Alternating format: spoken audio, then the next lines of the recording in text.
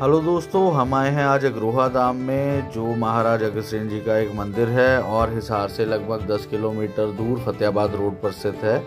Main gate से अंदर आते ही आपको मंदिर की भव्य इमारत नज़र आती है, जो बहुत सुंदर है और इसके साथ ही यहाँ पर हनुमान जी की एक विशालकाय प्रतिमा है, जो तीन चार किलोमीटर दूर से ही नज़र आ जाती है। ये एक बहुत ही भव्य मंदिर है, जहाँ पर बहुत सारी मूर्तियाँ बनी हुई हैं, जिन्हें आप यहाँ पर देख सकते हैं।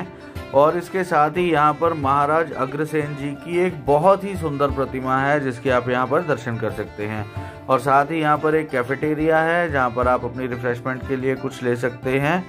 मंदिर का प्रेमिसेस बहुत बड़ा है और यहाँ पर एक बहुत बड़ा लॉन है, जहाँ पर कुछ शेल्टर्स बने हुए हैं और यहाँ से मंदिर का व्यू बहुत अच्छा नज़र आता है। तो आप जब भी यहाँ आए, मंदिर के दर्शन ज़रूर करें।